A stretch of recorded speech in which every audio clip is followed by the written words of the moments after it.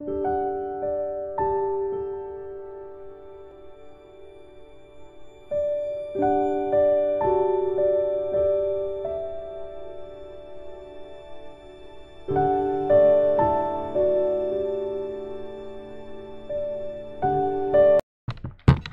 dear learners, welcome to APCC LMS portal. This is Dr. Y. Polinaidu, LMS presenter, lecturer in zoology from Government Degree College Srikakulam. Today I am going to talk about one of the most uh, important uh, crucial cell organelle uh, that is from second BSc zoology third semester cell biology topic nucleus, its structure and functions. I would like to divide the content into six parts like objectives, introduction, research history, structure of nucleus, functions of nucleus and summary. Let me first explain about objectives. After listening to this lecture, student can able to know the research history of nucleus, able to describe the structure of nucleus and he or she can know the internal structures of nucleus and their functions to understand the function of nucleus that controls all the cell organelle activities. Here our living creatures are described into two different types. Those with circular DNA and plasmids, this is known as nucleoid, are called prokaryotes, and one with a definite nucleus means nuclear membrane around uh, linear DNA and uh, membranous cell organelles are named as eukaryotic cells. You can view the image here. One is bacterium and another one is eukaryotic mammalian cell. Let me introduce about eukaryotic nucleus. Nucleus means kernel or seed in Latin. It is also known as. The study of nucleus is called karyology. It is the largest cell organelle in animal cells whereas in plants plastids are largest. It is the site of chromatin. By having all the genes, it can control the metabolic activities that are going takes place in each and every cell organelle. So it is the control center of the cell. If you look at physical features like number, size, shape, first we will discuss about number. Generally, a cell has one nucleus. That condition is called uninucleate. Sometimes paramecium and what cell like protozoans may have two nucleus, means two nuclei. This condition is called binucleate. Sometimes some cells like osteoclasts, striped mesofibers and opalina may have more than two nuclei and, this, and that condition is called syncytium. Actually, this syncytium word is used for animal cells and cenocytic the term used for plant cells. And if cells are devoid of nucleus, that's, that condition is called enucleate and for this mammalian matured RBC and platelets are example. If you look at the shape, generally the cell shape varied uh, based on its uh, structure and function. See, the common shape of nucleus is spherical, but in smooth muscles it may be oval, and uh, the granulocytes like acidophils, it is bilobed, basophils, it is trilobed. You can see the diagram here, and uh, multilobed in neutrophils. In paramecium, as the image shows, the large nucleus is horseshoe shape. Then come to position. In cell, the nucleus position mostly centric at the center of the cell. As you can see in uh, at cleavage, embryonic cell shows centric nucleus. Generally, it is there in animal cells. Most of the animal cells shows centric nucleus. But in plant cells, due to presence of vacuoles, it may be eccentric because uh, nucleus put aside like in adipocytes it may be peripheral and in columnar and gland cells sometimes it is very nearer to the membrane plasma membrane so it is bachelor position. If you look at the size it is also vary. You can observe from 0.5 to 600 microns in diameter. See mammalian's nucleus 6 microns and uh, it can uh, occupy nearly 10% of the cell volume. The size of the nucleus is depends on according to Hertwig the nucleus size is directly proportional to the amount of cytoplasm that is there in the cell. And according to Boveri, the size of the nucleus is depends on the amount of chromosomes that are present inside the nucleus. Let me discuss about history of nucleus, the research contributions by different scientists on nucleus. This crucial cell organelle first described and named by Robert Brown in his orchid flower studies in 1831. He named it as a areola or nucleus. In 1838, Matthias Schleiden proposed that there is a role for nucleus in generating cells and he named as cytoblast cell builder. In 1839, Hertwig reported the presence of nuclear membrane in the cell and in 1852 Robert Remak and uh, in 1855 Virchow proposed omnis cellula e cellula means all cells are existing from pre-existing cells for this nucleus is the reason and in 1882 Walter Flemming on his uh, experiments on uh, salamander while he is doing mitosis experiment he proposed that nucleus acts as a carrier of genetic information. And in 1953, Hammerling also proved the role of nucleus in heredity, growth and morphology by grafting experiments on Acetabularia. Let me explain about the nucleus structure. You can see the parts of nucleus like nuclear envelope, nuclear pores, nucleoplasm, nucleolus, chromatin. These are the important structures that are present and they perform variety of roles for controlling all the cellular activities. We will discuss about each and every part. First, nuclear envelope. It is a double membrane structure. Each membrane resembles plasma membrane in its chemical composition. It is also known as karyotheca and measures about 70 to 80 angstrom units. It is the source of all other uh, cell organelle membranes and it is continuous with RER. Mostly the outer nuclear membrane is continuous with the RER and have ribosomes. So it has the ability to produce proteins.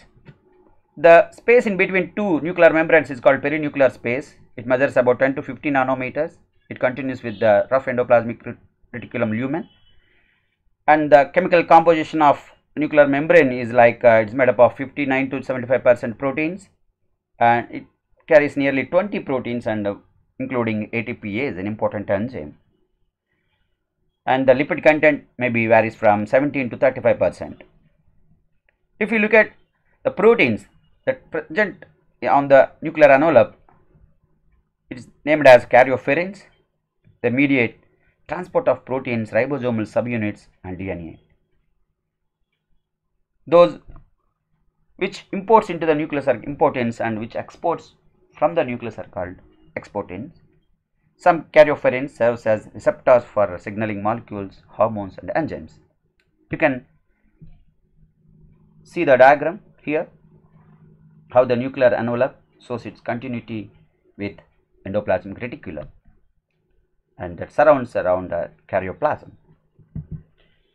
And the nuclear pores we are uh, going to discuss now where the external and internal means outer and inner nuclear membrane joins there there is a pore like structure called nuclear pore nearly 3000 to 10000 nuclear pores are present per cell but a typical mammalian cell has 3000 to 4000 it is also known as annulus, ring-like structures, generally octagonal in shape. Sometimes uh, it may be hexagonal in Acetabularia. And uh, the pore complex means the proteins that are present around the pore are called pore complex. They act as aqueous channels. They are composed of multiple proteins called nucleoporins and around uh, 50 variety of proteins are there in yeast and several hundred proteins are there in the nuclear pore complex in vertebrates.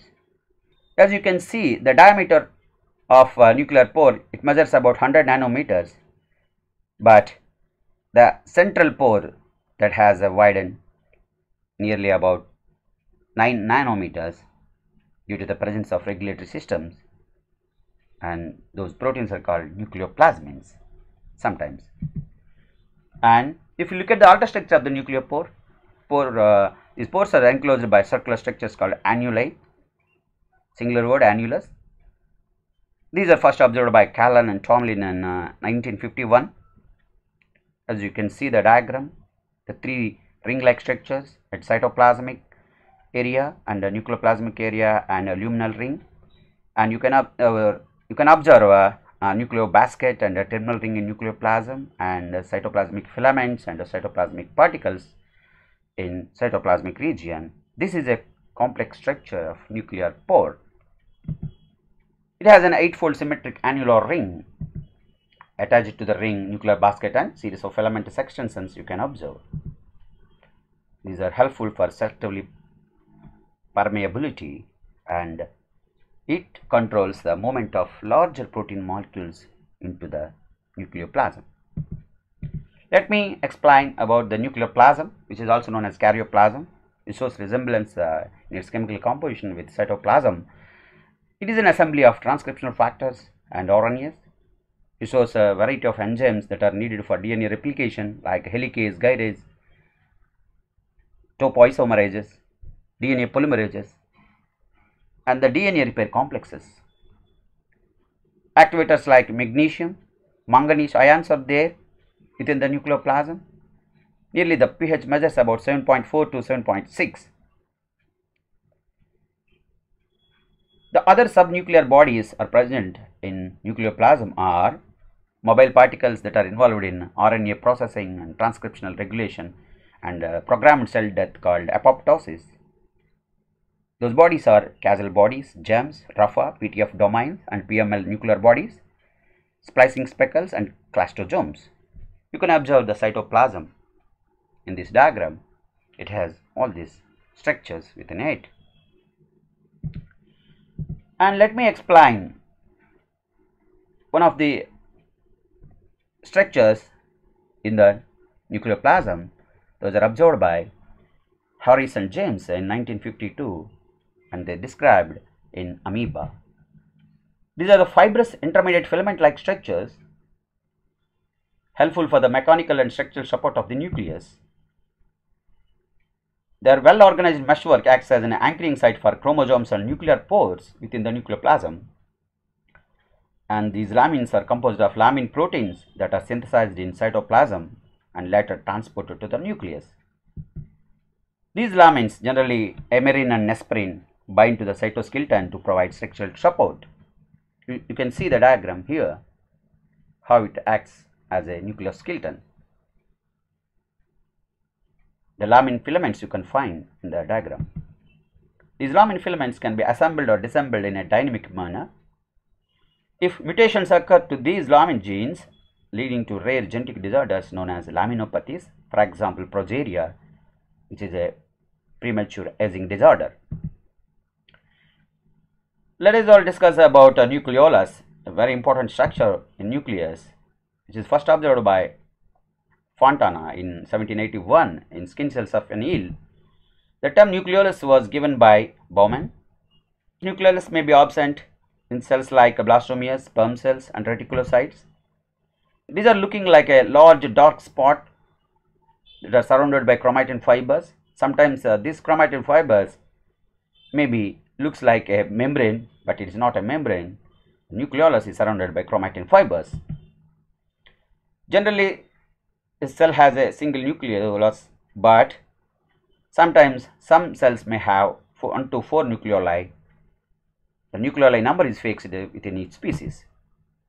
For example, in liver cells and lymphocytes, they may have two nucleolus per cell, but in polyploids and insects, some cells may have more than two nucleoli.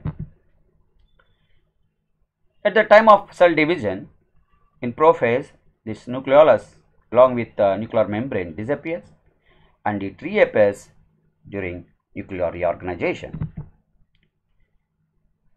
In recent studies, scientists said that nucleolus has a relation with cellular aging, it means the senescence of an organism. If you look at the altered structure of nucleolus, generally you can observe a secondary constriction on chromosome which lead to form uh, or organized regions, NOR regions. It is uh, made up of nearly uh, chromosome regions that has genes for 5.8s, 18s and 28s ribosomal RNAs.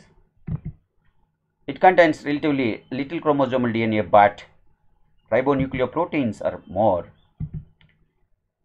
These chromosomes which have NOR regions means secondary constrictions are known as SAT chromosomes. The human chromosomes number like 13, 14, 15, 21, 22 are example for presence of secondary constriction. It contains uh, several hundred copies of ribosomal RNAs. If you observe closely the nuclear structure in this diagram, there are three components, fibrillar component, dense fibrillar component and a granular component. All these are busy in synthesizing ribosomes and stores or RNAs. If you look at the main part of nucleus, the region for it controls all the metabolic activity is none other than chromatin. During interphase in a cell, you can observe chromatin, a thin thread-like fibers which are condensed to form chromosomes during division phase, M phase. The term chromatin was coined by Walter Flemming. This chromatin may be sometimes uh, uh, two different types like heterochromatin and euchromatin.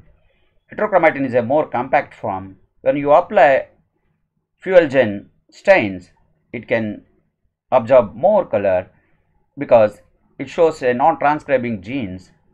So these are also called as late replicating regions. Adenine thymine content is high in this heterochromatin region. Sometimes it may be facultative, may active and constitutive sometimes. You can observe uh, Barr bodies that are present in human female. And when you come to euchromatin, it is less compact, thin fibrous DNA it contains.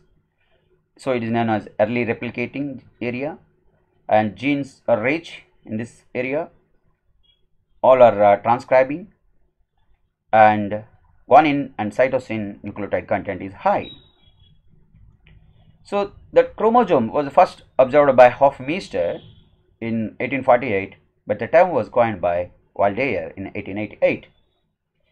Generally, a chromosome has parts like chromatids, centromere, telomere and secondary constriction as you can see in the diagram here. Chromatin contains DNA that is an hereditary material. It has an information and instructions for cell growth, development and reproduction. So, these chromosomes are carriers of information from one generation to another generation. Now, we are going to discuss about the functions of nucleus. It regulates all cell activities as we earlier said. It has a genetic information. You can remember the central dogma of molecular biology here proposed by Crick. It maintains law and order by showing all these uh, processes like replication, transcription, translation. The nucleus is a site of transcription and it controls gene expression. It is the storage of hereditary material in the form of DNA and you can see multiple functions of nucleus like in nucleus chromatin is condensed from chromosomes at the time of cell division and nucleus can store proteins and our RNAs, tRNAs and mRNAs and uh, it acts as an selective transportation membrane and allows movement of molecules selectively from nucleoplasm to cytoplasm and vice versa. And uh, it is also responsible for cell division and production of ribosomes means nucleolus plays a key role here and it is also responsible for growth and differentiation of cells. These are the functions of nucleus. And we come to last part, summary. Till now we discussed about the physical aspects and the research history of nucleus and the structure of nucleus and its different parts all these are described in detail and we explained the functions of nucleus how the nucleus controls all the cellular and metabolic activities that are going to take place in each and every other cell organelle. Thank you.